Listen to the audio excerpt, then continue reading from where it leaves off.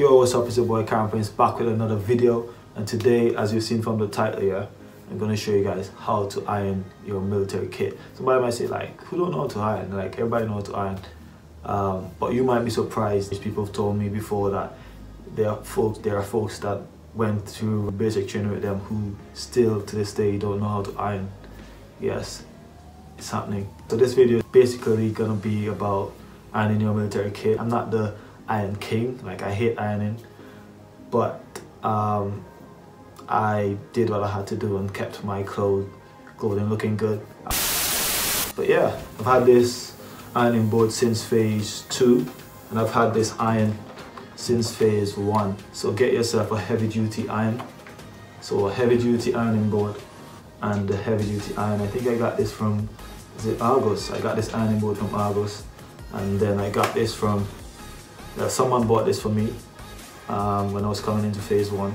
Shout out to you, Maxine, for this iron. Get yourself a very heavy duty iron as well. Maybe around 50, 40 pounds. Get yourself something good. Because the worst thing, or the worst set of people are folks who don't have iron, don't have ironing board. Don't go into training without these. Because you're going to be ironing every single day. So make sure that you get your own stuff. And you don't have to be asking people like, are you finished with your ironing board? Are you finished with your iron? Those used to be the most annoying people in basic training. Like get your own stuff, right? So yeah, good iron, good ironing board.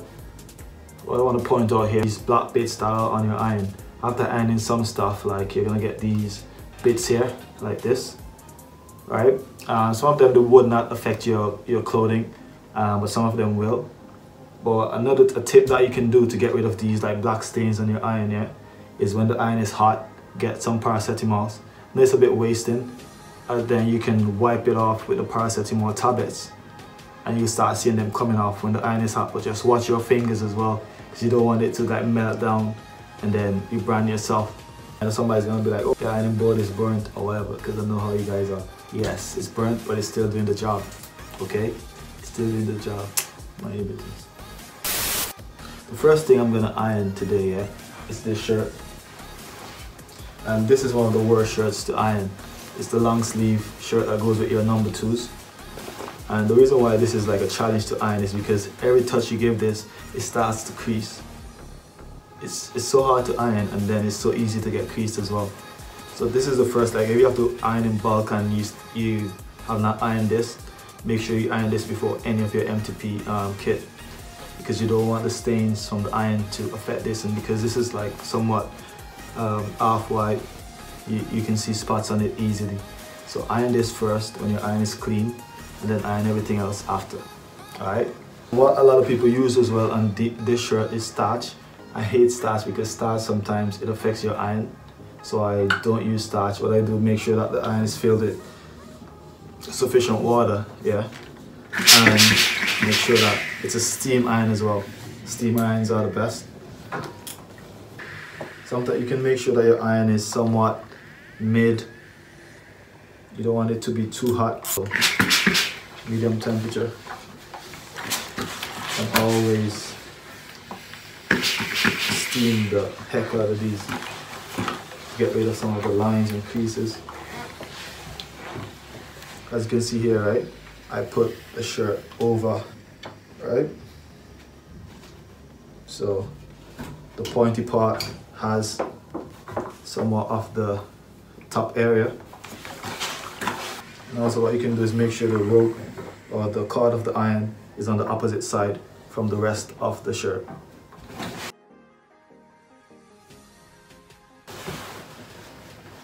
Then you pull this over. Again, make sure that the pointy edge of the iron has this bit so you can get the top corners right there. Also you can do somewhat hold the card sometimes from creasing the shirt because you don't want it to be sliding on the shirt. You can just hold it up over Good to go. Make sure that the pointy edge grips. This. Yeah. Really, nigga? It. As you can see, I was going in like a motion where I'm just pulling the shirt bit by bit. So we're at the final edge of it, still keeping this bit tucked into the edge of this ironing board.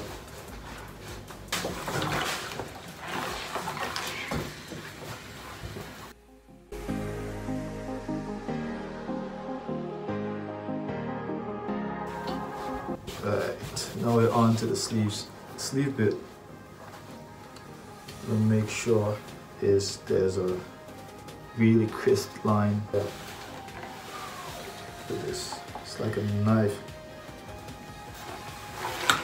You don't want to create double lines, so whenever you're creating your seam, make sure that it's crisp as possible. Just back to the back, and you might see a few little lines from you just turning the shirts and you just want to just iron those out. Which is not going to be really long so. Yeah. Few lines. And turn up the heat if you want to. Get rid of those. Get the collar bit. That's it somewhat parallel to the tip of the iron board. And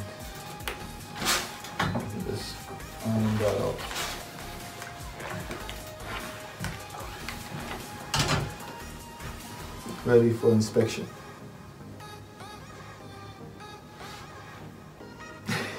Your MTP shirts here, phase one shirt. When you come to when you come to unit, you'll get other shirts. Cupping this bit inside this edgy part here and you want to turn this up to the max up to the max. Make sure you have water in it. Just gonna steam this shirt these don't get burnt easily so yeah, uh, at all. So you want to just steam this to the highest temperature. Same maneuver pushing over one end at a time. Keeping that bit, top bit, pulled against the tip of the iron. Look how crisp this is looking at this is looking on the board even now. Um, corner. They pull to the final end here. What is it? It's in my pocket. what is it here? A mask. Always have a mask in your pocket, even when you wash your shirt.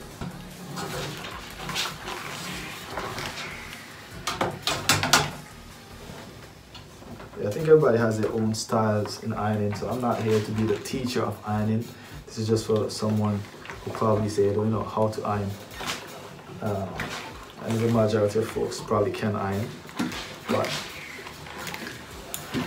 what we do is well, we take these off from the sleeves so you can get better a better way to iron the sleeve I don't think in phase one we used to do like the the lines the seams on our shirts. I don't think we were allowed.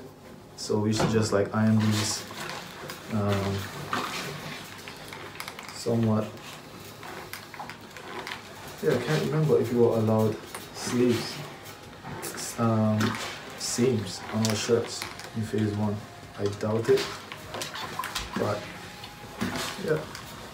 If you have to you can just create seams easily. If not then don't just iron it like this. As I said and what you can do as well iron these separate.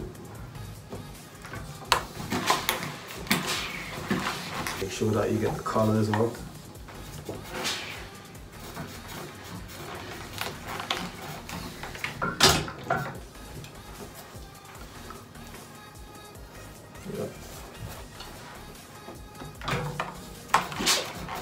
all you do is put these back on your shirt. The trousers, just make sure that the pockets are leveled in to iron them separately. As I said, make sure that the iron for these material is set to the highest because these don't get burned. Water is still inside. Okay, so that. So after the front is done, to get the back here, simply pull this bit right over this the, the tip of there and then you can iron the back without affecting the front. The lower bits you can do this um, this bit you can just put it on the ironing board and iron it but the top bit here do that method that I just did. Make sure that your buttons are done up here don't just leave them hanging like this. Raid pants trousers um, drills and all that. This one too as well. You want to make sure that it has like perfect seams. You can iron this like this. Put it like that. Push that bit over. It can be turned up to the max as well for this one? Just gonna create nice perfect seams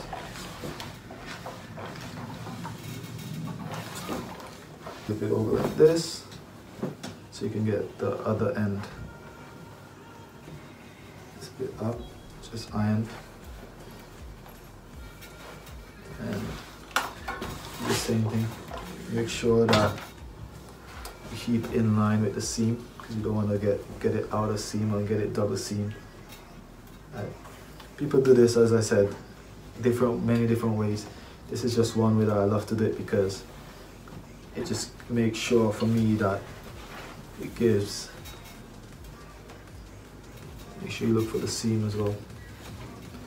These seams can be so cheeky man I'm telling you. You will already get an automatic seam at the top of the pants at the front. So hold on to that and this will guide you towards the seam that you just need to create going down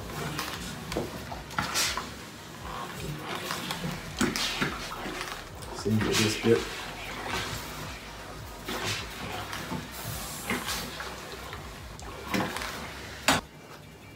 and yeah put both on each other. And can get the top bit of the pants. Get rid of all the minor creases. To the top bit as you can see this over.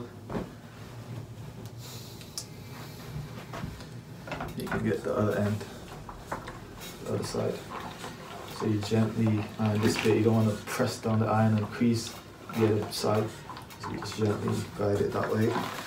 And then with this bit we can uh, but don't ruin the seams.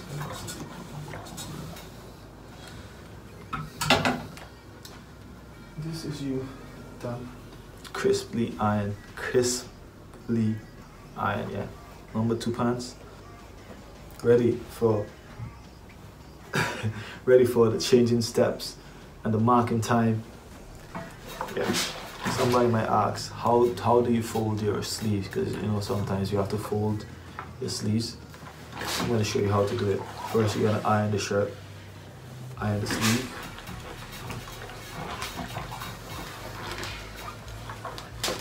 i'm creating a seam on it so you can get it will it will give it more of a equal fold.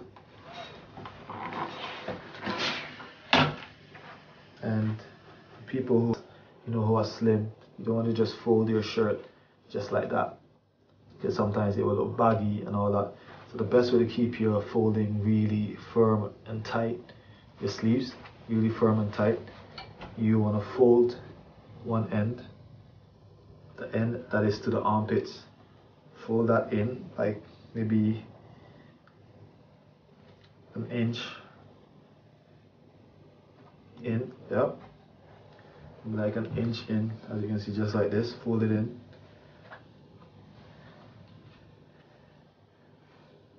What you're gonna do is grab this bit at the bottom because you don't want this to go loose. Yeah so grab it and you just want to like it's like you know when you're opening like uh like you already eat like the chocolate bar and it melted in the bag you're like opening the packet just to get that those bits out. Yeah you just twist it over like this. Right? While keeping this bit that you fold keep it from getting loose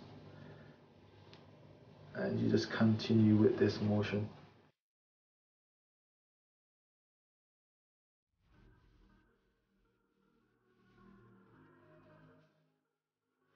or the height to whatever you're going for um, I usually have to go like a little high because I love to show off the pecs in it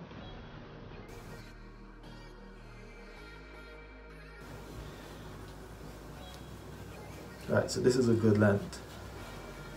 See? It's not too high, not too low. Somewhat maybe around here so the muscles can breathe. Hey, hold on, this shit ain't funny. It ain't funny, but it is. Yeah, sometimes you can put a sock inside this so that you can just put the sock inside. You can just iron this bit so it'll have like a crisp look to it. Yeah, that my friend is how you create a nice seam, well a nice fold in your sleeve.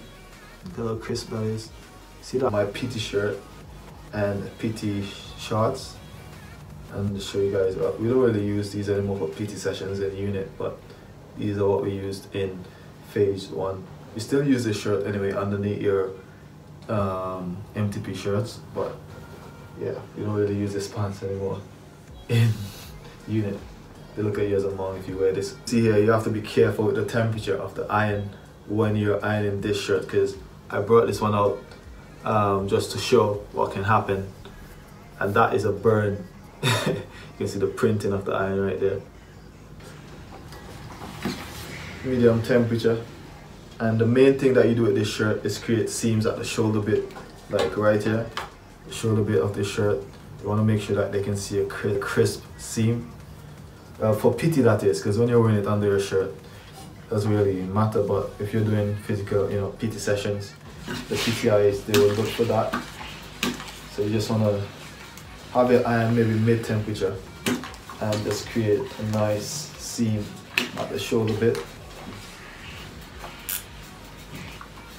What some people do as well, they to prevent any burning, they put somewhat of a towel over the shirt. Um, if you have a face towel, you can just put it on top of the shirt, then iron it over. So that will help you to prevent burning. But this is basically just it.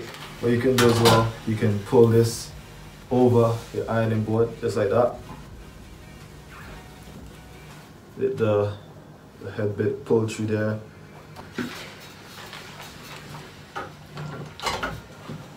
Yeah, all you gotta do is pull it over.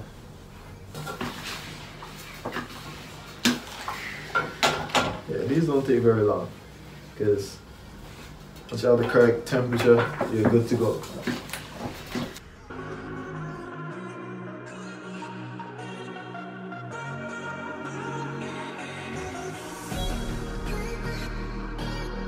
create your lines at the top and your PTIs will be happy. That's basically how you do this. This shorts, um, you have to create two seams at the front and two at the back. So just find the middle bit for the front, doing one side at a time. So I'm going to find a middle bit for this bit and you create a line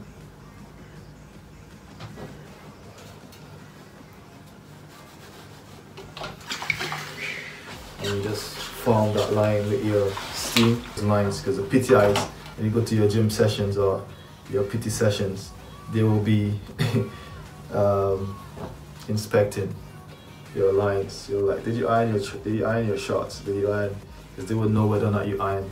If you don't have these lines they will know. So that's the first that's the first front seam right there created. And then you look for the other middle bit again of the front.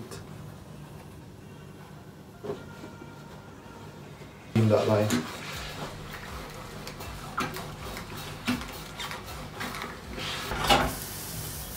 Yeah, steam that line. Sometimes you see creases at the back and all that. You can just like crease those out with iron. I'm gonna go to the back as well, do the same thing.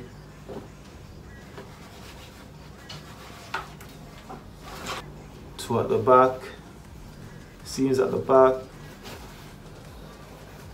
to at the front, and you're ready for your gym, you're ready for your PT sessions and your inspection. Uh, somebody might ask, what about your smart? Yeah, maximum level, steam, the heck out of it. Um, but yeah, I'll have to show you how to iron your smart. The same procedure, iron that, as I said.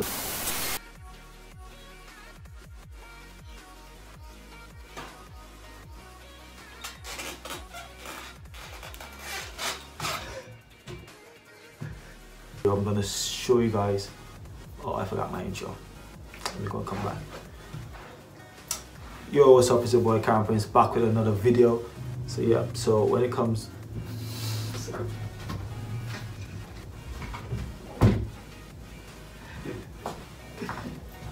yeah so what I'm gonna do is start with this bit so always use the point of the iron to put by the hands. It's